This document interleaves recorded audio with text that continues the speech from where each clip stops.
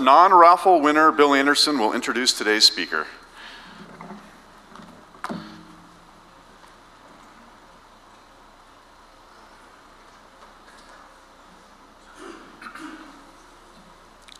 I do hope to one day win the raffle again and rub it in Chad's face. Um, today I'm pleased to introduce Greg Dobbs to the club.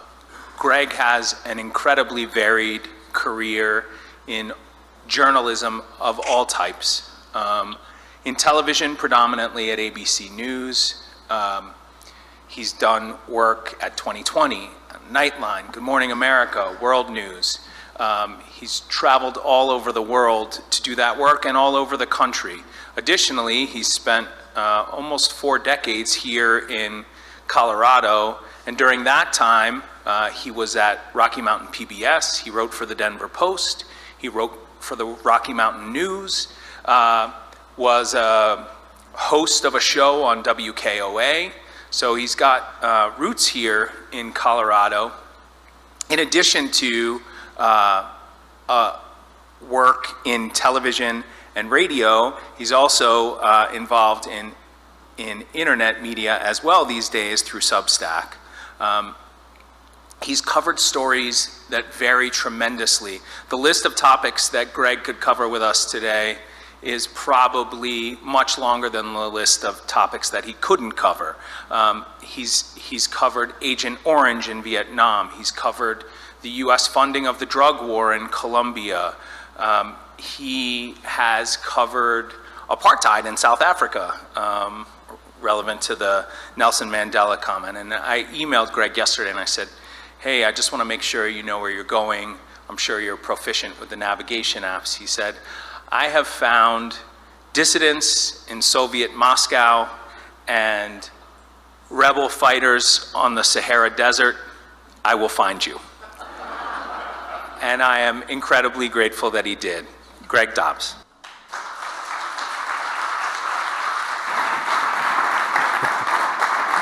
Thank you.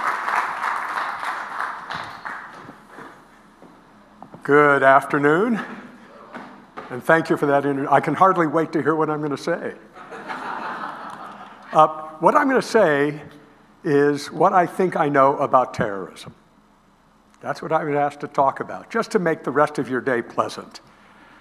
But terrorism is something we, we desperately need to understand, and although there, there are only seldom major acts of terrorism against this country by foreign terrorist groups, it's still something that everybody ought to understand, and maybe you need to understand a little bit about what the United States is trying to do about it.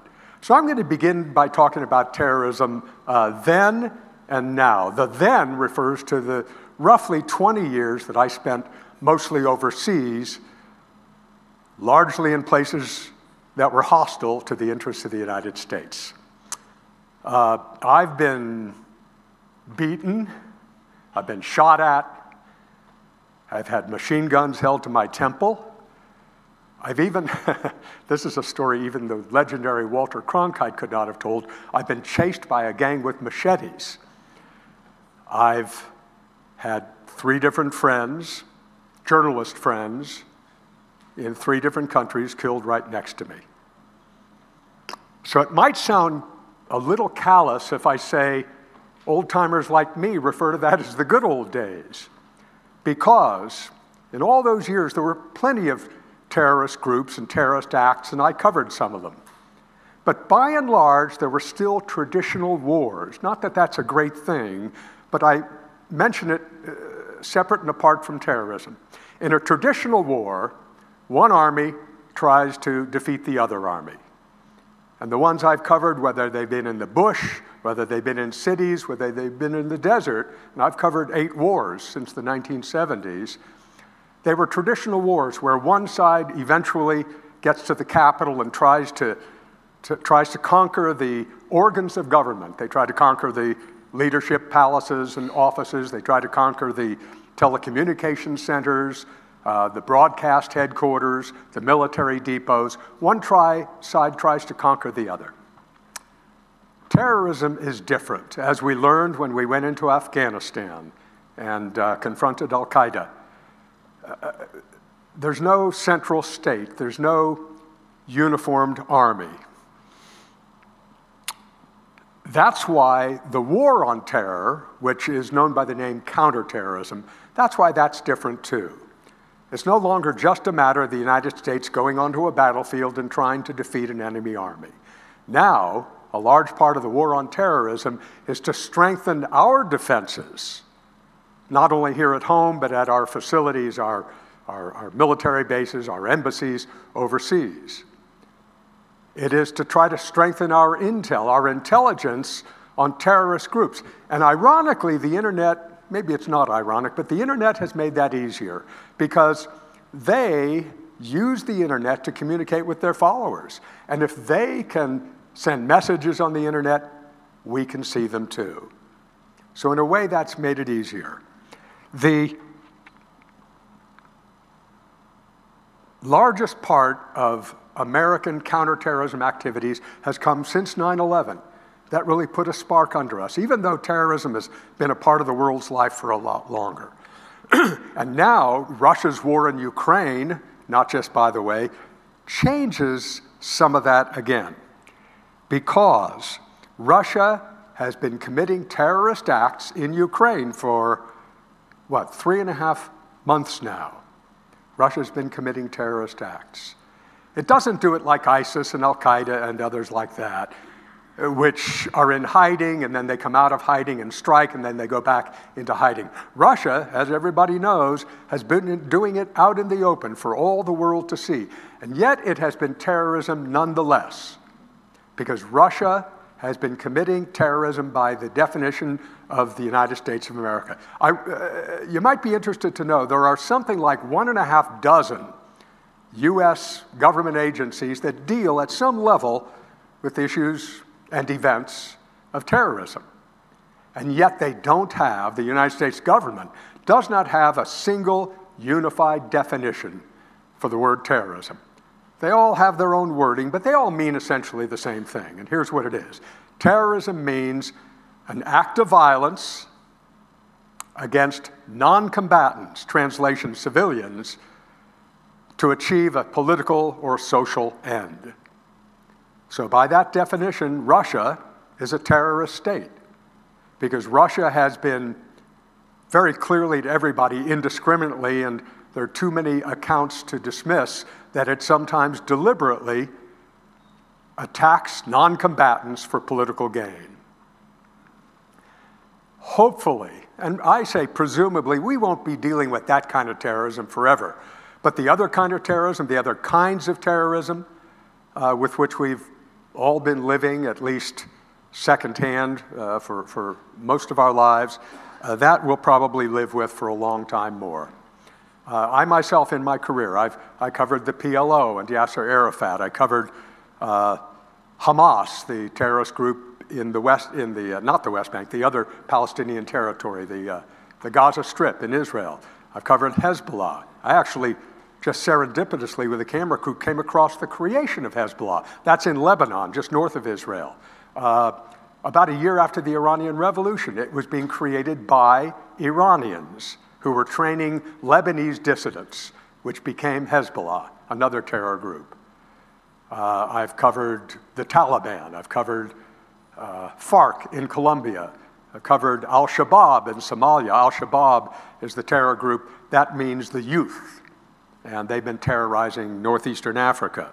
Uh, covered, uh, for those of you who remember back this far, the Red Brigades in Italy and the IRA in Northern Ireland. They're all terrorist groups, but here's the thing uh, the ISIS terrorist does not look like the terrorist from Al Shabaab, and the terrorist from Al Shabaab does not look like the terrorist in the Philippines, who doesn't look like the terrorist in Nigeria. Boko Haram is what they call themselves. Boko Haram means, in their local tongue, uh, no Western education, and that is the target of their terrorist acts. And that doesn't look like the terrorist in Nicaragua, who doesn't look like the terrorist in the, in the Caucasus of Russia, who doesn't look like the terrorist in San Bernardino or Orlando or New York City. The point is, uh, these are not your father's terrorists. They have different faces, excuse me, they have different names, they have different slogans, they have different causes. The very fact that I can mention ISIS and the IRA almost in the same breath hammers that home. And yet, there is one thing they all have in common, and that is a strategy. And the strategy is anarchy. The strategy is to, to rip apart the status quo for the purpose of social or political gain, for the purpose of their social and political aims. What's more, not everybody defines terrorists the way we do. And maybe the best illustration of that is anecdotal in my experience, and it involves the longtime dictator from Libya, Muammar Gaddafi. I was, uh, you know, in the network news business, everybody has the territory of expertise, and mine was the Middle East. And so I had been in Libya a number of times. I had interviewed Gaddafi a number of times. So when, and this was sometime during the Reagan years, uh, there were terrorist attacks coordinated simultaneously at two airports in what was then known as Western Europe. And in both cases, terrorists shot up and killed a couple of dozen people waiting in lines to check in for flights with US flag carriers. I don't remember anymore to be sure, but it was probably PF, uh, uh, what, Pan Am and TWA. And uh, I was with a camera crew somewhere in southern Europe, not far from the coast, as a matter of fact, the Mediterranean coast, when I got paged. Raise your hand if you remember what a pager is. I got paged, got to a phone, called headquarters in New York, and they said, there have been these terrorist acts. We want you and the crew to charter a plane and get to Libya as fast as you can. So we did. That's part of what you do in the business. Shortly after we landed and the authorities let us land, they evidently decided, you know, having Western journalists come in, not such a hot idea after all, because Reagan had pointed a finger immediately at Colonel Gaddafi for harboring the terrorists who mowed these people down in the two airports in Europe.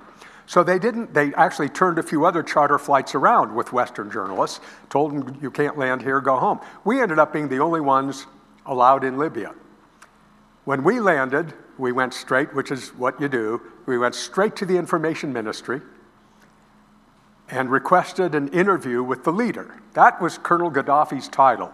He was a colonel from his days in the army, but he was the leader. He called it an egalitarian country. So they didn't, he wasn't a president, he wasn't a prime minister, he wasn't a, a, a potentate. He was the leader. He was the first among equals, but he was the leader. Uh, and I requested an interview, and their response was what it always had been the three or four other times I'd gone down there, not so urgently, but still, it was go to your hotel, stay in your hotel, we will call you. I didn't know if that would be one day or 10, but it was a big news story at the time. So we went to our hotel, waited patiently, and on, I think it was the second, it could have been the third night, I got a call literally at 3.30 in the morning. And it was the information minister himself who said, you and your camera crew be outside in 15 minutes. It's the middle of the night. He said, we're going to give you a tour of the antiquities. Now, the Romans roamed that area and others many, many uh, millennia before. Uh, and I had already seen all those antiquities. I had no interest, but they are a cryptic people, the Libyans, at least the Libyans who led the country in those days, so I thought we'd better do it. I called the camera crew, apologized for awakening them from their sleep, and said, We got to be outside in 15 minutes, bring your camera gear. So there we were, and a yellow school bus, it could have been bought from the used bus barn here in Boulder, a yellow school bus pulls up. There were three Libyan journalists on it, and three local print journalists, and then the three of us got on.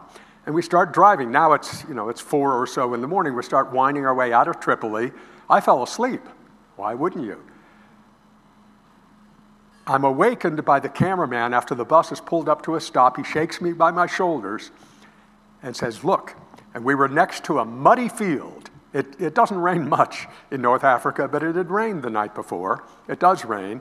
And it was a muddy field, and he pointed, and maybe a quarter mile off, a tractor was going away from us, and it was flanked by people running alongside on either side. And the cameraman, his name is Patrick, he said to me, It's Gaddafi. So I kind of rubbed the dust out of my sleepy eyes And we piled out of the bus, and I'm carrying the heavy camera tripod, and he's carrying the camera. In those days, it cost about $150,000. This is in 1980s money. Uh, it wasn't, wasn't a cell phone. Uh, the sound technicians carrying all the other gear, including heavy batteries and all. We go running across this muddy field to catch up with the tractor, and when we do, it's going very, very slowly, it stops. Who do you think is driving the tractor? Colonel Gaddafi. And he acts surprised that we're there. It was obviously a setup, but he acts surprised. And so we stopped, and the camera crew knows let's, let's get ready to do an interview if he allows it, which is obviously what he was going to do. And I start shouting, he hasn't turned off the tractor, so I start shouting, make, call it not small talk, but small shout, with Gaddafi just passing the time until the camera crew can catch its breath and set up the equipment. And I said to him, What are you doing? He says, I am tilling the fields for the people. Now, he, he actually spoke pretty good English. It was heavily accented, but he had a decent vocabulary. He says, I am tilling the fields for the people. And I shouted, Do you do this a lot? And he said, I mean, he knew me because I had interviewed him before. He said, Yes, I often tilled the fields for the people. At about that point, the cameraman gave me a little wink, which meant, We've caught our breath. Uh, we, the gear is ready to go. Let's do the interview. So I shouted at Gaddafi, I said, We'd like to ask you some questions. Would you turn off the tractor? He starts fishing around for the key and cannot find it. This man who tills the fields for the people cannot find the key. And one of his bodyguards, that, those are the people who are running alongside with heavy weapons strapped over their shoulders. One of the bodyguards tries to save him from embarrassment, reaches under a little metal ledge and turns it off. And Gaddafi says, I always forget, I always forget where that is. So, anyway, I, it's often I said, May I ask you a few questions about the attacks at the airports uh, a couple of days ago, a few days ago in Europe? He says, Of course. And when you're interviewing somebody like him, particularly in a nation where they could make you disappear and nobody would ever know, you want to be very careful in a number of ways. One of which simply is how much time you're going to get. He might give me 10 seconds, he might give me 10 minutes. So you want to get right to the point. And within a question or two, I said, Were you responsible for harboring in your camps in the southern part of this country the terrorists who shot up the airports in Europe? He paused just briefly and said, We do not support terrorists. And then he stopped. There's something else you have to learn when you do my kind of work. How long do you let the pause last? You could let the silence linger until he is uncomfortable enough with it that he starts talking again and maybe implicates himself. But you can also let it linger long enough that he says, Okay, that's it. Thanks for coming. Bye bye, boys. So I don't know how long the pause was after he uttered that one sentence, We do not support terrorists. It was probably four or five seconds, but it felt like four or five minutes. And I was about to open my big fat mouth to keep him from dismissing us when he did first. After having told me we do not support terrorists, he said, but we do support freedom fighters. And the moral to the story, obviously, is one man's terrorist is another man's freedom fighter. And that's part, not all, but part of what can make it difficult for the United States to, to, to, to, fight terrorism because we, we define it in different ways. But something that makes it even harder is the state of the world because there are more uh, unstable states than there used to be. And unstable states mean uh, uh a breeding ground for terrorists and a breeding ground for uh, terrorist groups to recruit new terrorists. What they do is look for people who are oppressed or displaced by their governments, by uh, their dictators, by poverty, by hunger, by war. They become those people's families. They become their community. They give them a roof over their head. They give them uh, food on the table. And they give them, by the way, no small thing, they give them power. people whose lives meant nothing suddenly have power. I, I, I said at the beginning of the talk that I had machine guns held to my temple twice. Once was in Beirut during the Civil War, once was in uh, Tehran during the Revolution. And in both cases, those guns were in the hands of teenagers. Teenagers who had my life in their trigger finger. That was power. That had to be the best day of their lives. And I'll never forget it because it made me realize that anybody can become a terrorist. They don't have to be ideological fanatics. They can be guns for hire. They can be people who are hungry. They can be people who, who need a job. But the bottom line is that general instability is a breeding ground for terrorists. And that makes things very difficult for the United States to fight because we can't make the world such a better place that that instability disappears. So, instability and something else. The sometimes uh, insurmountable gulf between cultures is another obstacle to a successful war on terrorism. And here's, here, here's an example. Again, another, my whole life is just anecdotal, but it's an anecdote, and this time from the revolution in Iran. I spent almost the whole revolution, beginning with martial law, which was, I think, in 1978, into the revolution. And then, of course, all of us went back for the hostage crisis after the revolution. But during the revolution, there were fundamentally two reasons why the vast majority of people, not only in my estimation, but in the estimation of virtually every international reporter who covered the revolution, the vast majority of Iranians wanted to be rid of the Shah. And there were two reasons. One was a brutal secret police force called Savak. I mean, you hardly met anybody who didn't hadn't lost something themselves or knew somebody who had lost a job, a house, maybe a limb, sometimes a life to Savak. The other reason, though, was that the Shah was trying to modernize his country by his standards. He was westernizing his country. He was inviting in Western culture. He was inviting in Western fashion and Western music and Western movies and all the rest. Well, there were, as I recall, the population of Iran then was something like 60 million people. Most of those people did not want Western culture. They simply didn't. The Shah's circle did, but the rest didn't. To them, it meant decadence. And the source of that decadence was the United States of America. So, by that measure, if we were the source of their decadence, we were the enemy, which led to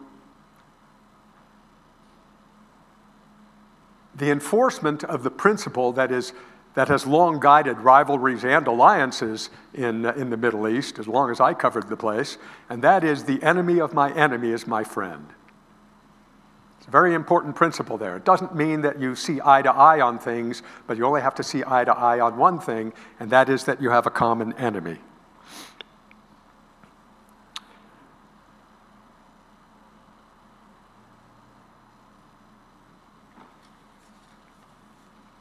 When we went into Afghanistan 20 plus years ago to rout Al Qaeda, it was both a, a, very obviously a blessing to get rid of them, but it was also a curse because we didn't kill them off, as you know. We chased them out to every continent on earth, and terror groups on every continent mushroomed. And then in 2003, with the invasion of Iraq, that created a leadership vacuum. And you know what they say about a vacuum something or somebody's going to fill it. In this case, something was born within that vacuum, and that was ISIS. And for a little while, they had their caliphate, but then that was defeated. However, they weren't killed off either. They dispersed into small cells, which is what we're fighting today. Because they have the benefit of time to wait, to plan, and then to execute. So today, there are ISIS cells and ISIS wannabes and ISIS copycats uh, in every corner of the planet. That's what we're fighting now. The fact is, the United States is involved in counter-terroristic activities in an astonishing number of nations, whether it's combat on the ground or airstrikes or the insertion of special forces or training local forces to fight terrorist groups. We are involved at some level in 85 countries at the last count. That's nearly half the nations on earth. Everything I've talked about so far has been part of the physical infrastructure of terrorism. But there's another piece of terrorism, a newer piece of terrorism, and one with potentially consequential impact on us, even if no missiles cross our shorelines. And that is cyber terrorism. Think of how much of the world depends on the cyber world, which basically means on satellites and the internet. In the Cold War, during the Cold War, we almost felt that we could see if an enemy, which really meant the Soviet Union, were to launch missiles against us, we almost felt like we could see them. We didn't really see them, we would hear them. I mean, I've been to, the United States had several huge listening posts in friendly countries or allied countries outside Soviet borders. I was at a couple of them. The dishes, I don't exaggerate, are as big as this room. So we, would, we thought we would hear, and we would hear missiles coming if they were launched from the borders of the Soviet Union. Cyber terrorism, not so obvious. No way to see it coming. And that's what's scary about it. Think about what would be affected if somebody launched not just an attack on Sony studios or on a credit card company, but somebody attacked a comprehensive uh, uh, group of institutions dependent on the internet, dependent on the cyber world. I mean, think about it. It's our transportation systems. It's our financial networks. It's our information systems. It's our military communications. It's our energy grids. It's our healthcare records. Not to mention all the creature comforts that we've come to depend on. They all depend on a stable cyber system in this country and, and frankly all over the world. I mean, think about going to the bank and being told there are no records of the money you say you have. How would you like it if the electricity went off across the board? Or if every airplane or every train, and in some cases bus systems, which depend on the cyber world these days, suddenly were off, offline? How would you like to use, lose the use of your cell phone? Cyber attacks, if they're launched in a major way, will not melt buildings the way nuclear bombs would. But they could conceivably melt the infrastructure upon which those buildings sit. Nothing you can do about it, nothing I can do about it, but be aware of it.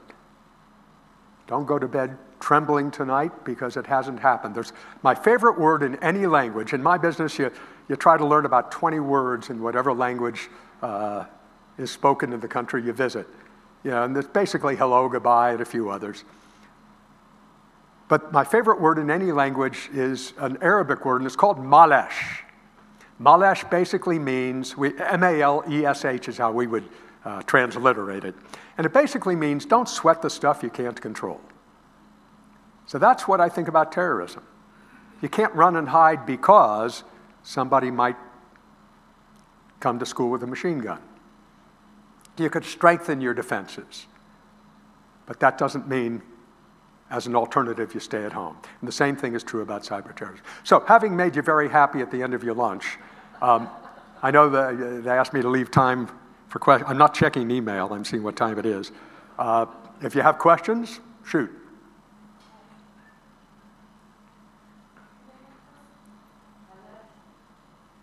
And I, am going to remind you all, or tell you, uh, I'm hard of hearing, so the best way to hold the microphone is this way, please, as if you're about to shove a hot dog right down your throat.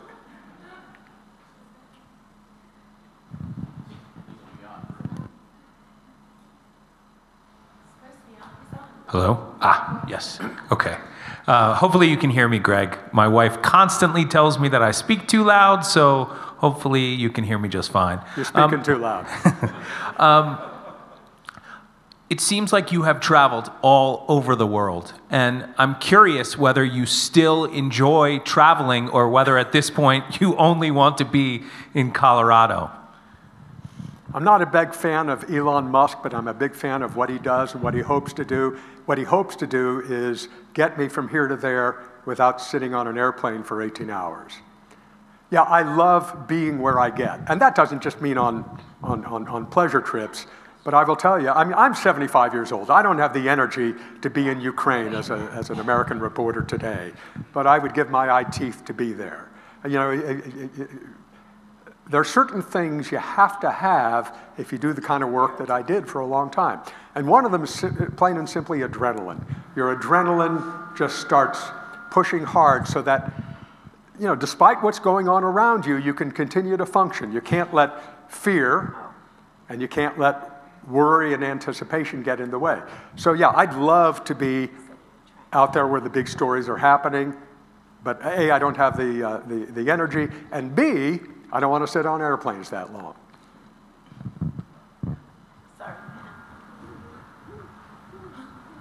Are you counting your steps as you run around? I am, I am. Thank you extensive experience in international terrorism, are you able to make any applications to domestic terrorism, even as we are experiencing those uh, investigations in this week?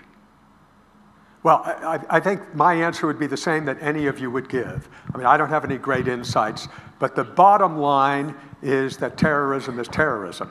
People are going to come out of nowhere. As I said about Al Qaeda and ISIS, they hide, they strike, they hide again. And that's also true. I mean, think about the major terrorist acts, and they, they multiply every year in this country. Strengthen your defenses. They, with, with respect to the schools, uh, that's talked about. I mean, I'm, I, I was told specifically not to get into politics, so I won't.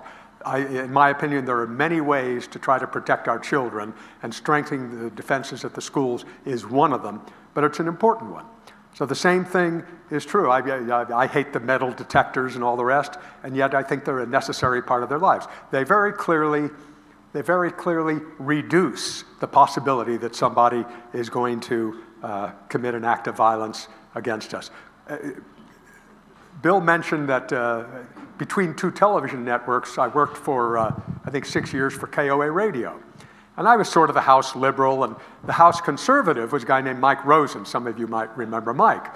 They would put us together on the radio for an hour once a month to debate each other. But Mike used to say this about proposals for controversial measures uh, on social issues. He, he, he, would say, if it only saves one life, wouldn't it be worth it? But he was saying it with a cynical tone. In his opinion, it wouldn't be worth it. In my opinion, depending on the cost of those measures, yes, it would. Hi, um, I'm a big international traveler. And oh, hi. Way, Sorry, this way. Okay. Uh, I'm a big international traveler, and uh, I don't have a lot of fear when I travel, but I was wondering if you had any advice uh, when you're in a foreign country, how to minimize risk to yourself. How to minimize what? Uh, risk of being attacked, or is there anything you should, that people should not do or be aware of? You know, I think my parking meter's expiring. I got to go. I mean.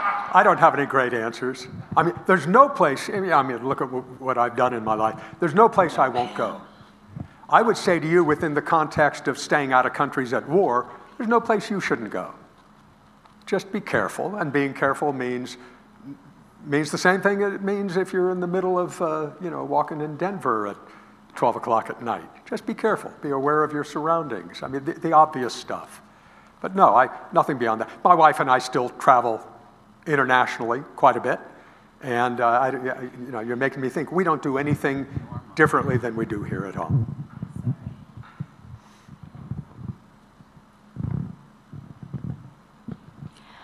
You have some fascinating stories. Do you have any plans for getting some of these events or some of these circumstances written down so that they could be shared with other people?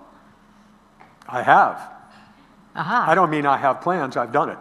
Uh, and you've given me a great opportunity to sell my book, which I think these days you can get for $1.89 on Amazon. Uh, it's called Life in the Wrong Lane, because that is where a lot of journalists, international journalists especially, uh, spend their lives. The name comes from this, you might find it amusing.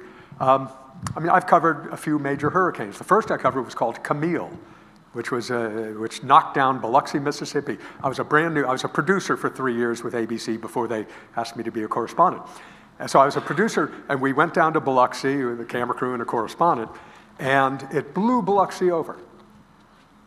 Biloxi was almost abandoned at the time because everybody saw Camille coming, and everybody who had the means or the sense got out of town. Those people were in the right lane. They were getting away from the trouble. I was once watching, right as I started to write a book about what you're asking about, I was watching a television, uh, television coverage at home of a hurricane. Some, I covered Katrina as well, but this was not either of those. But it was a hurricane somewhere on the Gulf Coast, and it was a helicopter shot, you've all seen it probably, of, of an interstate highway jammed. It was almost like a parking lot because everybody was trying to escape the wind. And during this five or ten second shot, all of a sudden, pew, there goes one car the wrong way.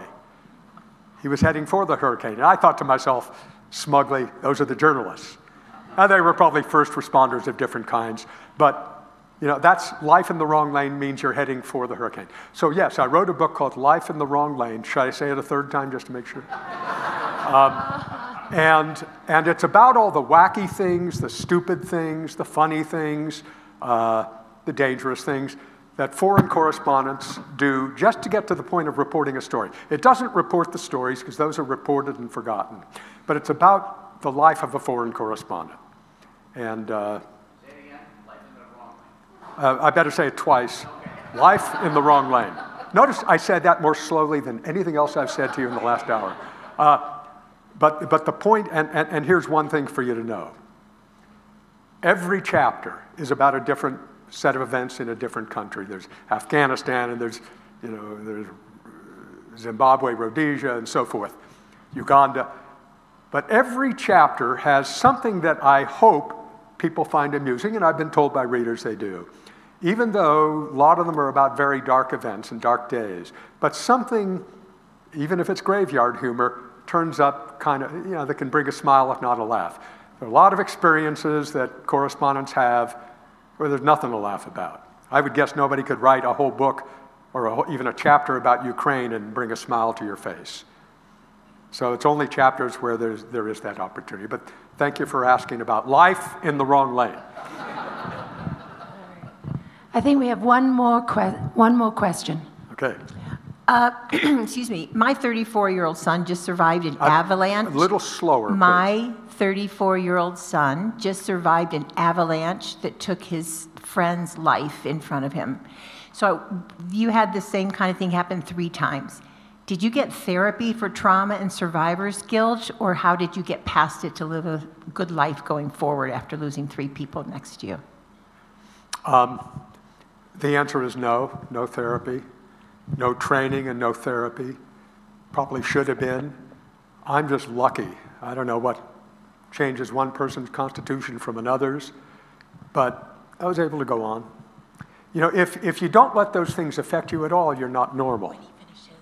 But if you let them make you dysfunctional, I mean, you are normal, but then you're dysfunctional. And you can't really, I don't think you can make the choice. Plenty of journalists, like plenty of soldiers, like plenty of first responders of different kinds, have PTSD, get PTSD. Some, it lives with them forever, some it doesn't. I was just one of the lucky ones who was able to go on. I, I want to tell you one thing about Rotary, by the way. Um, I have seen signs of Rotary's work around the world. Uh, I mean, I can, I can picture uh, in Bolivia, uh, we, were, we were doing a, doing a documentary actually about the drug war, and in Bolivia, on the, on the uh, other side of the Andes from the capital, uh, meaning you cross over a 17,000 foot pass, makes Colorado look flat, uh, that's where they grow the coca. Coca's not cocaine, but it's the main ingredient in cocaine. And we were driving down the road, down the other side, and there was a big billboard saying this, such and such. I don't remember what it was anymore. The work of Rotary International. Uh, I can picture it in Tanzania. I can picture it in Vietnam. So thank you for your contributions to Rotary because of its contributions to making this a better world. So thank you.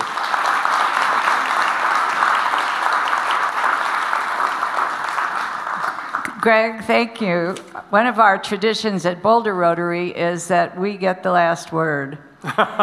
and uh, as a journalist myself on a very different level than you were, um, I recognize that there are lots of things right now that we are able to be anxious about, and that part of journalists' jobs is to help us understand them so we don't have to be so anxious. And we all appreciate what you've done in that regard. And to thank you for being here today, we'd like to donate in your name 100 doses of polio vaccine to Boulder, uh, to Boulder, to Rotary's Polio Plus Fund. And um, we're this close to curing polio, which is one of the big things that Rotary has worked on. Thank you very much. Thank you. Thank you. Thank you. I add one more thing? I want to add something to what you just said because you said we didn't work at the same levels. As a journalist, as fellow journalists, we work at the same level because we hopefully, if we do our jobs decently, help people understand the world around them. And we get to see things firsthand that they don't, and we have a front row seat, and we get then to communicate. My greatest satisfaction is getting to share what I have the privilege of seeing, even, even if it's awfully bad stuff, uh, with people who only otherwise would know about it third hand. And whether you're covering a city council or, or, a, or a war in Nicaragua, uh, the impact is the same. So thank you. We did, we did both work at the Rocky Mountain News. Huh? Just for, just for the record. Yeah.